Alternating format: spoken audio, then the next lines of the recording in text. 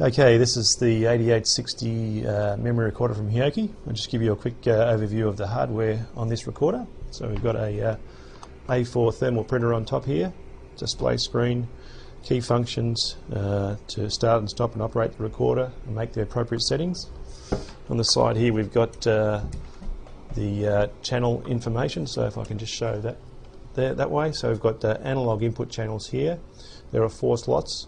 In this case we've got a two analog channel unit up to 400 volts DC and so they, in configure with these uh, analog inputs you get uh, eight analog channels. We've got uh, some logic uh, inputs here. These are four channel logic units so you get 16 logic channels.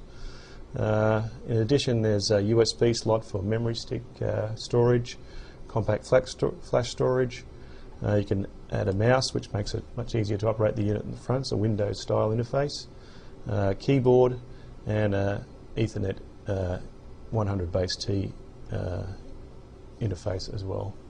Okay, so uh, when you're setting up the 8860, there are three things that you should try to establish when you're uh, setting the recorder. Basically, uh, the voltage axis, the time axis, and trigger. Okay, we're trying to measure a 5 volt 50 hertz signal in this case, so we need to set up the voltage axis first. So just press the set key and that brings up a number of pages for setting the unit up. Uh, we're trying to locate the channel key so you can use the up and down keys. Make sure that's highlighted on channel. So this is the uh, voltage range here. So you can see uh, we've got range per division. We've got 20 divisions uh, from in this on the display here. So at the moment we're on 500 millivolts per division which will give us plus or minus plus or minus 5 volts and on this scale here you can see the active green shows us the signal in, so we're right in the right range on this case. Okay, we've set the voltage level appropriately. Now we need to set the time axis for the amount of uh, sampling speed and the amount of uh, time we want to capture. So we need to locate the status uh, page on this unit, so press the up arrow. We've got status and you can see here we've got the, uh, the time base and it shows the number of uh, samples per division and that's typically there's 100 samples per division. So we're trying to capture 50, 50 hertz signal here, so that's a 20 millisecond sampling speed, which should give us one cycle per division. So that's appropriate in this case. If you just want to change the sampling speed, you can use the, keys across here, press the F1 key, for example, give us 1 millisecond per division, 2 milliseconds per division. In this case, we'll choose 20 milliseconds per division. Okay, we've set the uh, voltage and the sampling speed for the recorder. Now we've got to uh, set the trigger conditions for the recorder. So locate the trigger page here using the, either the set key or the up and down arrows. I'll just use the set key to locate the trigger page. And here we get the appropriate settings for the trigger menu. Okay, so for triggering we just keep, need to keep in mind the uh, conditions for the trigger. So in this case we've got uh, three different modes. We've got single, repeat and auto. Singles are simple, simplest trigger condition, so just capture one waveform. Uh, we've got pre-trigger information, so information before the trigger and after the trigger. So if I use 50%, I should get half the waveform before and half the waveform after. And then if I move the cursor down to the actual trigger condition itself, you can see here we've got a simple level trigger, which is just a line across the screen, and as the it gives you the slope. So as the the waveform moves from below the zero point to the to the above the zero into the positive section, it should trigger the recorder. Okay, we've set the trigger, so the recorder should be ready to go. So all I have to do is press the display key to get back to the main screen, and then press the start key to arm the recorder. You can see, hopefully it should store the waveform for us. Okay, so there's a good amount of information that comes when the informa from a memory recorder. First of all, you can see the trigger position, this is where the signal went from uh, minus to plus and a zero crossing.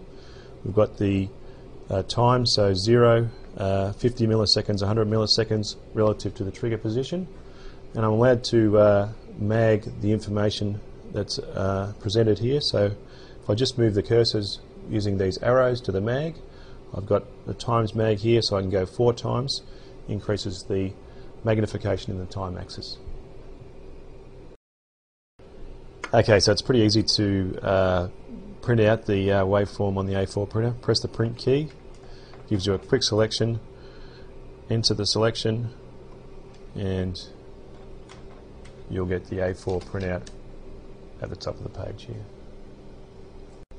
Okay, so one of the nice features of uh, Recorder is your ability to automatically save uh, the waveform to a medium of your choice, memory stick, compact flash or the hard drive on board.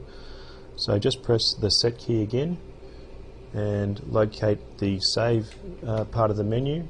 So just scroll down to the save and you've got the options available for save. Uh, in this case I'm using auto save so as soon as the recorder is triggered and the waveform's captured it will save it off to the appropriate medium. In this case I'm using the PC card and you can see here I've got the waveform on. I'm using a file name called test which if I've got more than one it'll auto increment uh, as each file is uh, saved and the format in this case is text which is a uh, comma separated variable which is uh, compatible with Excel. Okay, so we've covered some of the basic features of setting up the uh, Hioki 8860 memory recorder. Uh, this recorder obviously uh, has a lot of advanced features. It's 20 mega sampling uh, sample per second recorder. It has uh, a number of analog input channels up to 400 volts DC. It's got several logic input channels. It's got things like uh, LAN output, which allows you to do things like uh, HTTP server services uh, accessed via web browser. It's got a multiple number of uh, storage features for the data that you capture, for example, compact flash, USB, etc. And there's a lot more uh, advanced triggering features that you can use on the recorder. Does that sound? Okay, so that was a brief introduction to the Hioki 886 memory recorder, one of the quality test tools from Hioki.